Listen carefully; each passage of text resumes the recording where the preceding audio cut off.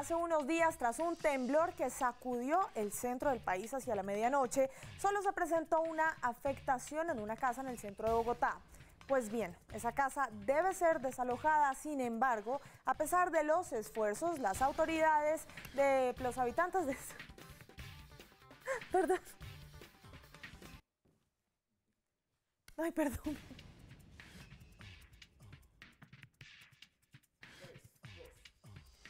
Bueno, y cambiamos de tema. Hace unos días, tras un temblor que sacudió el centro del país hacia la medianoche, solo se presentó una afectación en una casa del centro de Bogotá.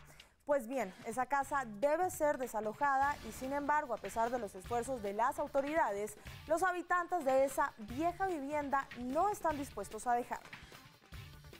El pasado 19 de julio, un sismo que se registró a las 12 y 40 de la noche según informe del Servicio Geológico Nacional y que tuvo como epicentro el municipio de Colombia, Huila, con una profundidad superficial de 30 kilómetros. Se sintió en gran parte del país mientras la mayoría de los colombianos dormía. Aunque fueron pocas las afectaciones que se registraron, algunas viviendas quedaron con grietas en el municipio del Tolima, pero un caso especial se presentó en la ciudad capital. En la localidad de Los Mártires, el día del sismo, una vivienda con 28 habitantes quedó afectada. Sin embargo, hoy se niegan a desalojar el inmueble. Había caído temblores, lo que sea, y, la casa nunca se había caído. Fue que ellos socavaron allá por debajo y tumbaron la casa.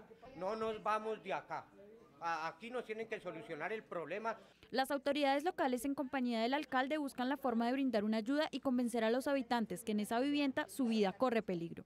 Estamos tratando de convencerlos para que abandonen el inmueble por el riesgo que representa estar dentro de él. Para muchos es su hogar de toda la vida y no aceptan que los quieran sacar de este lugar. Nosotros fuimos criados prácticamente acá.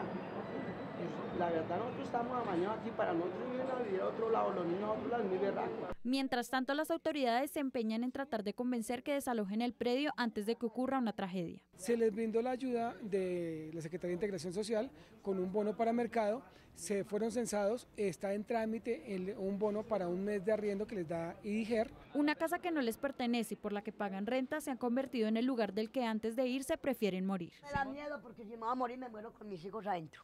Y eso sí se lo juro y se lo digo a cualquiera. Si yo me ha de morir, me muero con mis hijos adentro.